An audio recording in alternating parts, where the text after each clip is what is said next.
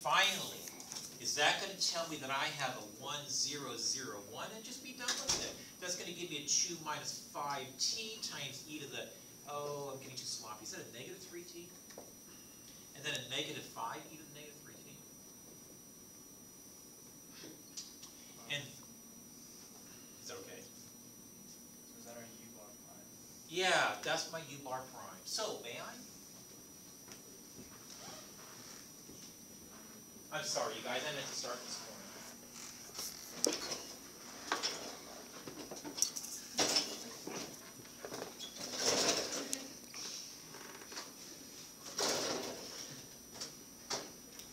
And I maintain that that really says that my u bar prime of t It's nothing more than this business. You guys get rid of these two far. Is that a two minus five t? What's e raised to? Negative three hundred three. Negative three t. Could you just give me the next one? Negative five times e to the negative three t. Should be So positive. should be positive. Positive five? Yeah. And that being the case, oh, oh, it's supposed to be positive? Oh, yeah. So you're saying I made a mistake over there? Yeah. Oh, you guys, you're right. I didn't see it. I multiplied both sides by negative one as well. Sorry about that. The very first line over there should be a positive five e and I think that tells me that u bar of t is simply the following. So anti-differentiate 2 respect to t I get. I get. Yeah, I get a mistake. You know, technically speaking, I better distribute this in. And so I think the very first time integrating is 2 times e to the negative 3t. Wouldn't that be a, a negative 2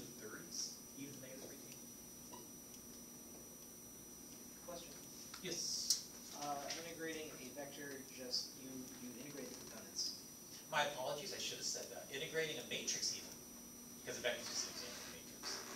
Even, even integrating a matrix that's not necessarily a column matrix, I think it's just integrating term by term. Same with differentiating. Same with taking the limit of a matrix if it's a non-constant matrix. Now, you guys, let's be a little bit careful the next. Because I think um, of distributing as is in, I'm going to integrate negative 5t e to the negative 3t.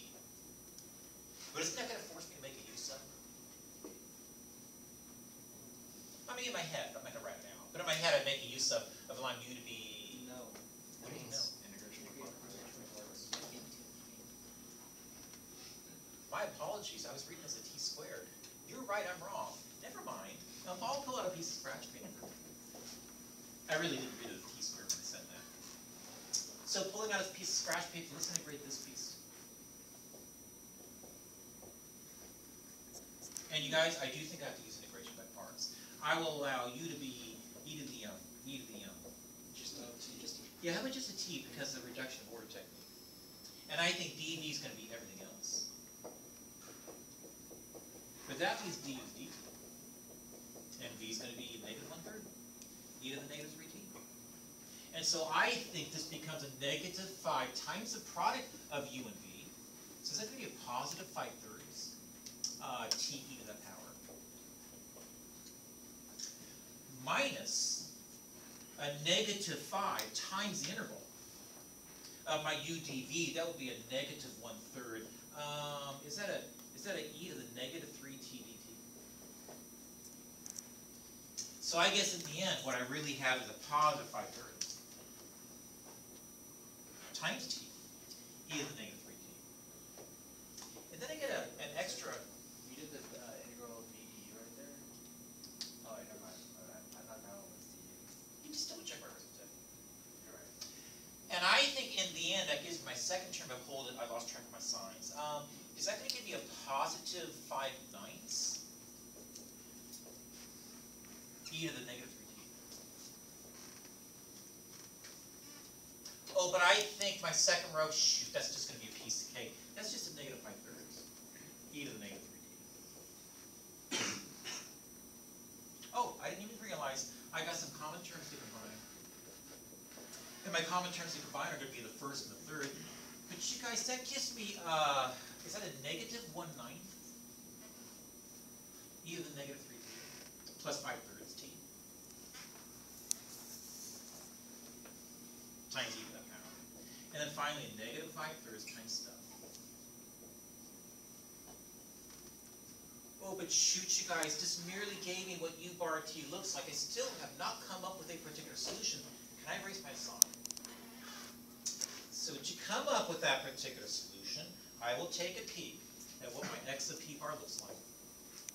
And I think, as a function of t, it's merely going to look like my fundamental matrix times this beast over here, which is my u bar t. It's just that when it comes to the fundamental matrix, oh shoot, where is that darn thing? It's way over there. That's going to give me 1.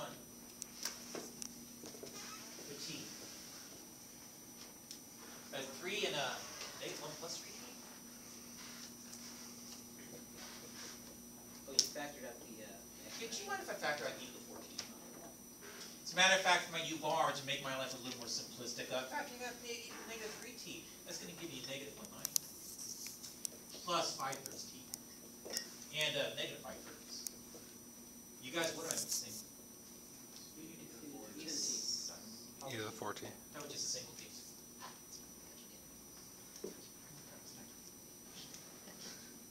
And, I think you guys have multiplication is defined, is a two by two, this is a two by one.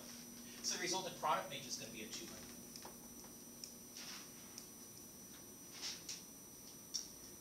So dotting the first row, the first with a single column, the second, I think that gives me a negative one ninth plus five thirds t.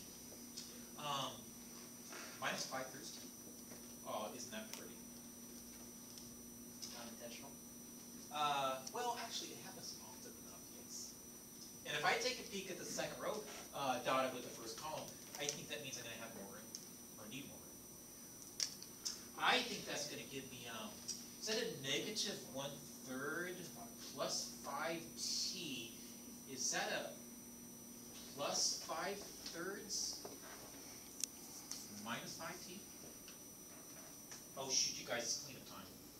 And in cleaning up, I guess that leaves me with nothing more than this. Oh, how pretty. Negative one ninth and, um, you said four thirds. Period. Oh, you know what, you guys? I made another mistake. I, I forgot my D to the T. I really did. Well, there's my particular solution. And so I think all solutions to the VDE are gonna be in the form of some kind complementary solution with this one particular solution. And so I all solutions are gonna be of this form. Uh, actually, let me go back, where's my, oh, there it is, third board over. That's gonna be C one one three, C one one three. Plus C two T. Negative one plus three T all times this particular exponential factor.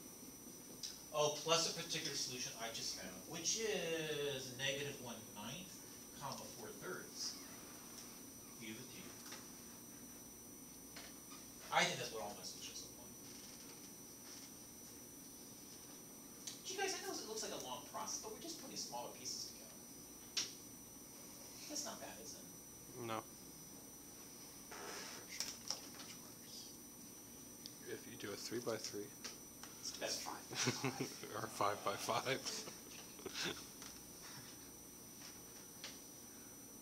But you guys, before I erase it, I just want you to tap me on this. Oh, here, you can gonna tap me on this, watch. With my purple pen, remember? You guys caught me on a sign error. From here to here, multiply both sides by negative one. That changed, and we did change it over here, because someone copied. All right, has any questions? Mike? I was curious, uh, what the steps were to go from, uh, augmented matrix, like, what, like, how you got from the first one to the second? Now, I gotta confess, when I went to from the first to second, I was not using my typical algorithmic technique of Gaussian elimination. I was simply trying to uh, reduce a matrix, an augmented matrix, in whatever efficient could without doing a lot of arithmetic.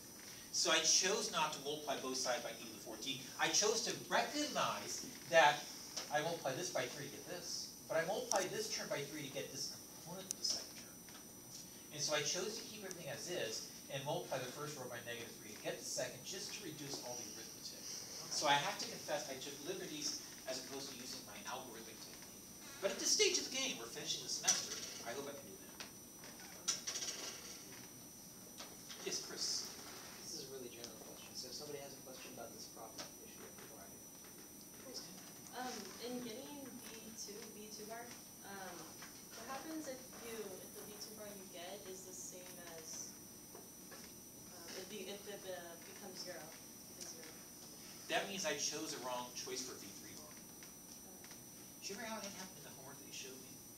Remember I had to finagle with the SAT off front? I do it in such a way that it made sense. Well, that was a little bit different. That didn't generate the zero factor. I'm just saying, even with a zero factor, I can choose it in such a way. that- Okay, so as long as it doesn't make equal to the zero bar, you're good. Actually, what I typically do, I'll change color. I feel bad at doing this. Um, I typically say V three bar is something like this. So I get this. And so I have more freedom in choosing what that Is second that a one is G? gonna It's Yes. S. All right. Man, you were just on me. I'm sorry. Sorry, last class. you Okay. attacked In front of everybody. That was all. Bec- Multiple uh. Katie started it. Catherine started it, did she really? Well, she was the one that initially had the problem with the row. Yeah, she scored the, on the test. I'll have to remember that. Anyway, it allows me sometimes just at least avoid fractions if nothing else.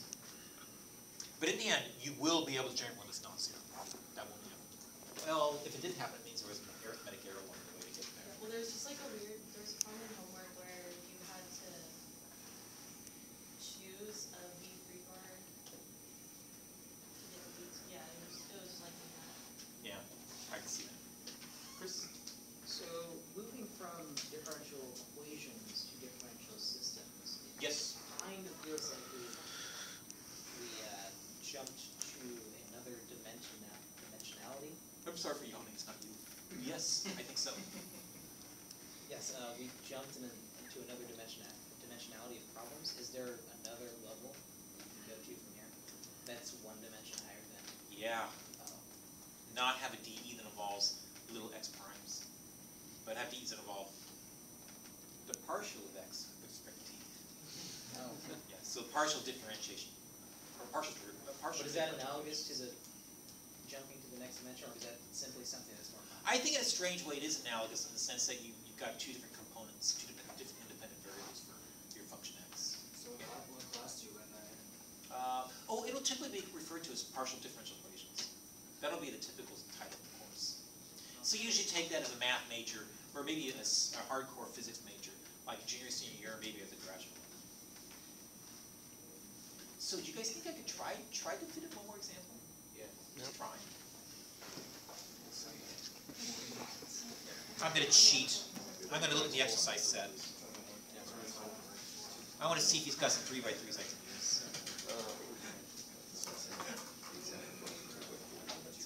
Oh, by the way, you guys, I should have said this. This technique I'm using over, the overall technique for finding that particular solution is called my variation of parameters technique for, for VDEs.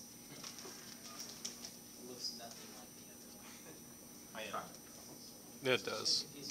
It's just bigger. Well, it does a little bit, doesn't it? Yeah. Because, um, x of p is equal to a u times something, just like it was with the variation parameters technique of DEs. And the actual system, the equation I solved involved u prime, or u bar prime, just like it involved u primes with variation factors. Why are those two techniques called that? Like, what are the parameters that you're varying? I always just view this because the, the U one and U two are varying with the Y ones and Y twos with the old one. And I think this is kind of analogous to that.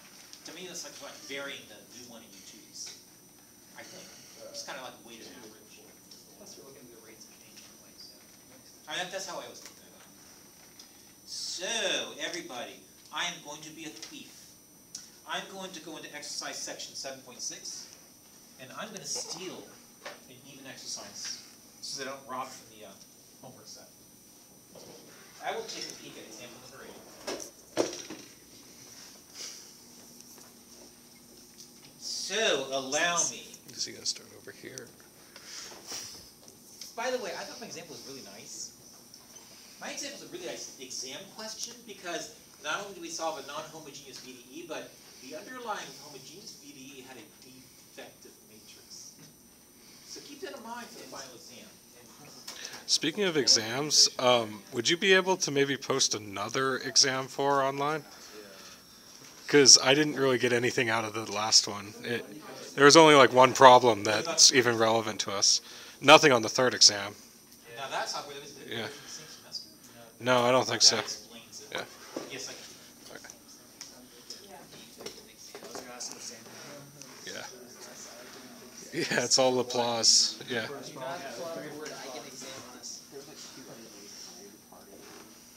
You guys, while I'm doing this, do you guys mind checking the sideboards, see if you can find a piece of black pen?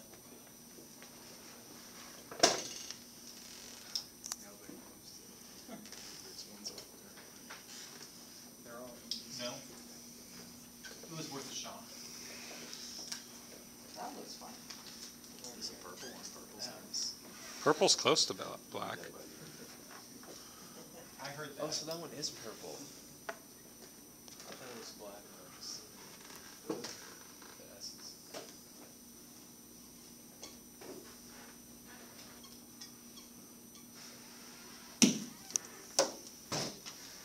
So, that gives me a three by three, sys- well, a three by three coefficient matrix, I should say.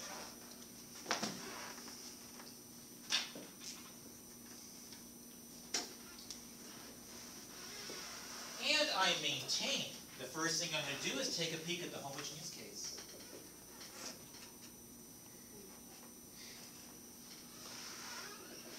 And in the homogeneous case, I'm simply gonna first look for eigenvalues.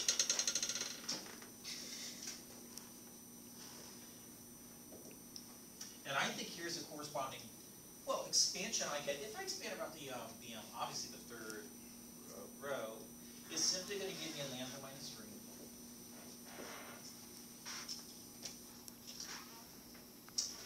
Is that gonna be multiplied by a lambda plus one and a lambda plus four, or minus four, excuse me? Is that gonna be a plus four?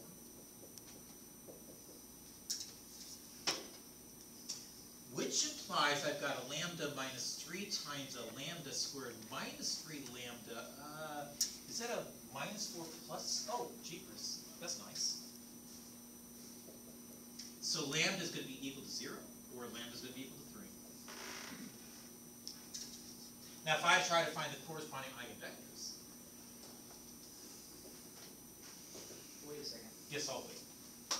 Is, is zero as a lambda, uh, eigenvalue, is that a valid eigenvalue?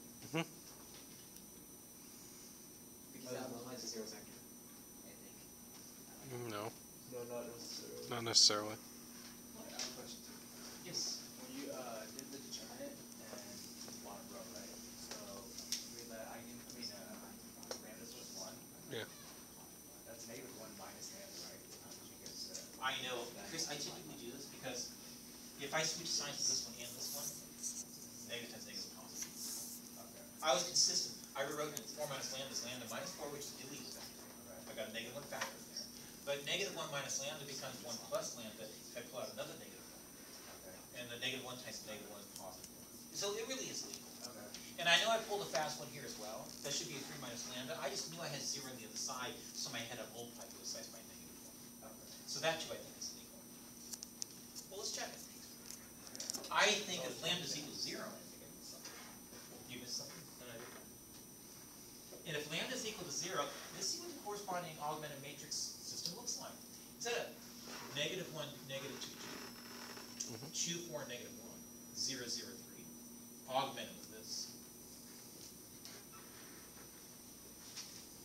I just maintain, what that's gonna give me is nothing more than, um, The trivial solution. No. No, never mind. oh, that's not true, but is there something easy I can do? I don't see it. Two times the first times the second gives you a zero, zero, three. I got an idea. Can I multiply the third one by negative one? Add it to the second.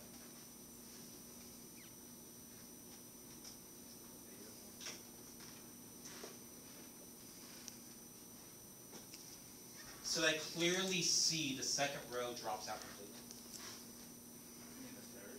the second, because the second's just, a- oh, hold, hold, I mean, it's there. Because the second's just a duplicate of the first. So you took the first multiplied by, or the third, you said. I multiply the third by negative one, added the second, use the results of my new second product. Just so you can clearly see the second a little bit reversed. And I think that reduces to this system. Instead of one, two, negative two, and then a zero, zero, one, zero, then an all zeros. Or shall I say, one, two, zero, zero, zero, zero, one, zero. But I think that gives me an eigenvector, I'll call it D with bar. Should be nothing more than, uh, anybody wanna help? One negative two, one negative. Say it again. It's such a nice pen. Negative two and one, I'll just use different signs. And so, I think my x one bar t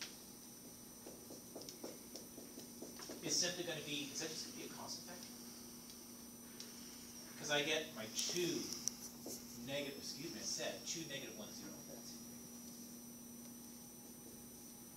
Times my e to the lambda t, but that's just e to zero, which is just one.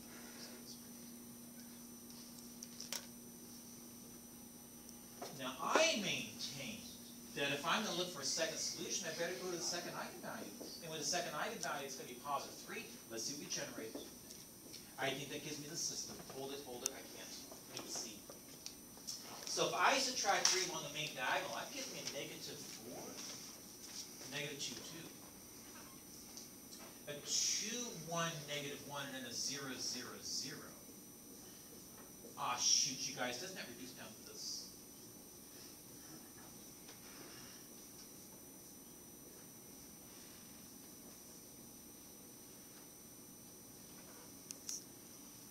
You guys been doing okay so far? And if I am, it's making me this.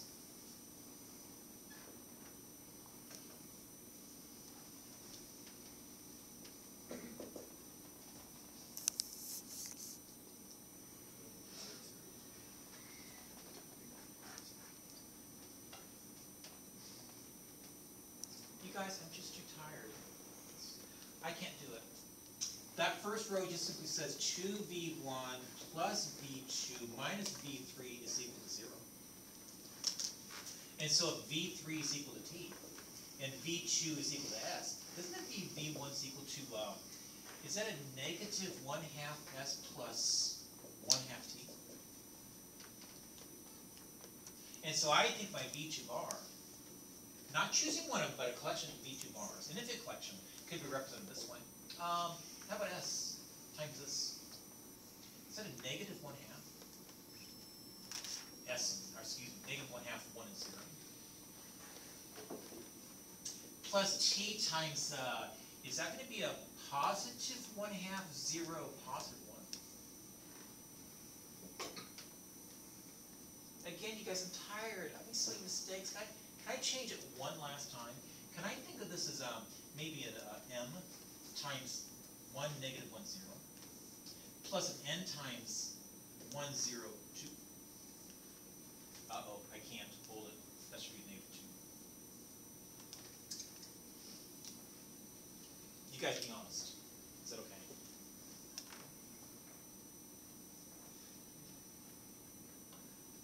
Mark? Oh, I, I, was just putting fractions, watch. I replaced this S with a, a negative two times M. Yeah. I brought the negative two in, just so I can avoid fractions, that's all I did, I did something similar with T's. So that's the thing, your, the last thing you said about the last one? Yes, I agree. Oh, by the way, shoot, something else horribly awful with this, you guys. I'm already using T as my independent variable. Can I put a, like a, a double bar above it, so you understand it's not the same T as the head over there, it's my independent variable? Just to distinguish it. Well, then, that being the case, I think I've, got my x of two bar T to be nothing more than, um, whoa. Sorry, still made another mistake. Look, there's something missing, what is it? e to the lambda t. But again, over here, I'm gonna have that factor, it's just that over here, lambda is equal to zero, so it's just gonna be equal to One. one. So keep that in mind, I didn't miss it over there in the end, in the long run. Over here, I think I've got my one negative two zero times, yeah, I'm only asking because I forget, e to the three t. And I've got my x three bar t being equal to my, instead of one zero two e to the three t, So that, never mind. Chris? So you wouldn't want x two to be equal to the combination of those, like you wanna split them up. Why not? I mean, I think they're linearly independent. based Makes my life a lot easier. And I think my complementary solution is simply gonna be a linear combination of these. That would be a two negative one zero. So, so do you just ignore m and n, or we're doing those? I did, and I have to confess, the reason why I put the M in,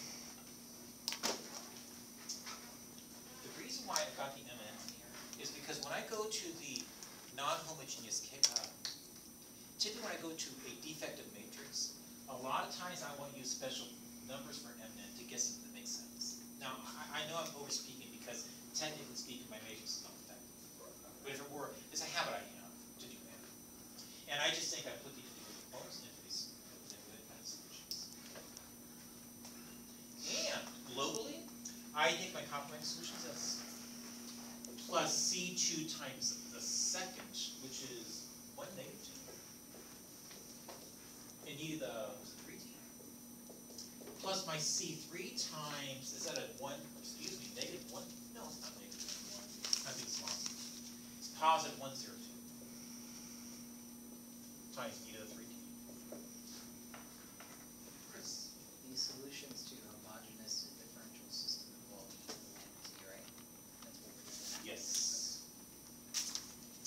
I also maintain that my fundamental matrix is simply gonna have column by column, um, two, negative one, zero. E to the three t, negative two, e to the three t, um, zero. And then finally, e to the three t. Zero to two e to the three t. That's my fundamental matrix. Well, I guess I'm now ready to actually find my particular solution. So diving into the homogeneous case. Ooh, did I misspeak? I meant to say my non-homogeneous case.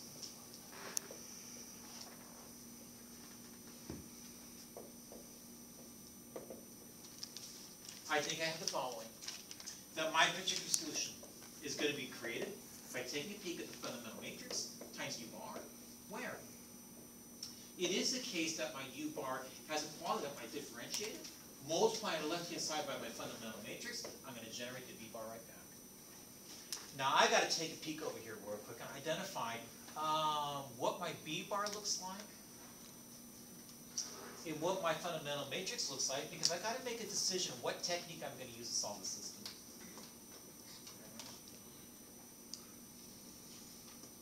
Well, we don't want to use Cramer's, right? We want to use Gaussian. I, I think, Brad, Ooh. you're right, only because everything in here seems to be really nicely behaved. Yeah. So do you guys mind if I use Gaussian elimination? Yeah. Now, as I'm writing everything down, can I, can I skip a step or two? Can I, number one, interchange the first and second rows? And multiply both sides of the new first row by negative one? And I think that gives me this system. So I've got a positive one, positive two e to the three t, a zero and augmented with, is that a negative four e to the three t?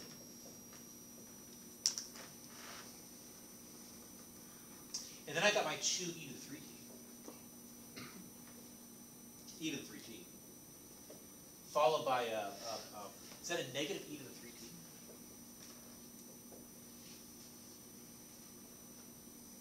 And lastly, I guess that gives me a, is that a zero, zero, two, and then a three?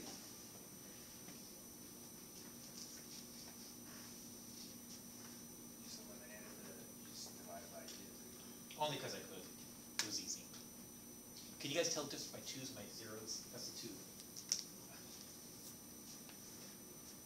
And continue to reduce, I'm being honest, you guys, I don't know what the best thing is, let me just be standard. 1, 2 e to the 3t. 0 and negative 4 e to the 3t. Is that going to give me a 0? A negative 3e? A sig 1e? And then finally, is that going to be a 7e?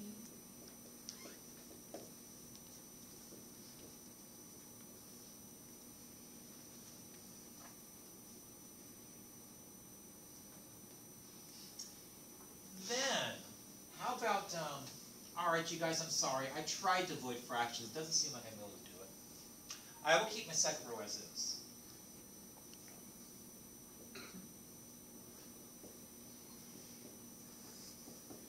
But I'll multiply it by a positive two-thirds added to the first.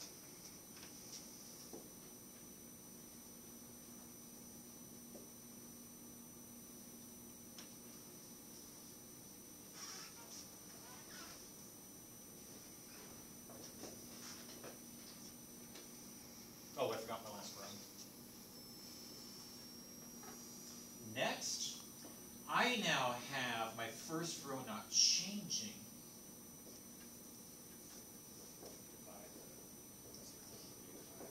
I agree with that. So that give me a zero, one, negative one third, and a negative seven thirds. And then a zero, zero, one, three halves. You guys, I'm only one step away, one step away. My third row is there.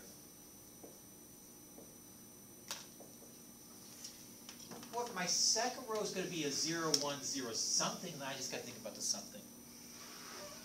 So, positive one third times the third plus the second is gonna give me a, yikes of work. Is that gonna give me a one half minus seven thirds? Instead of negative